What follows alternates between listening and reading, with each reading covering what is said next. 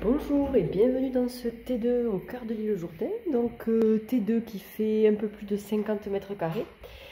La pièce principale fait 36 mètres carrés. Avec le coin cuisine.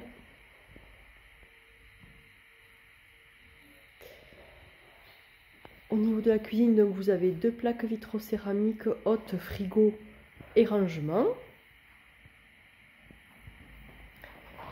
Ici, vous avez également un placard de rangement qui peut faire office de, dressing. La salle de bain avec le toilette. Donc, lavabo, baignoire et ici, un emplacement pour mettre la machine à laver. Et ici se trouve la chambre.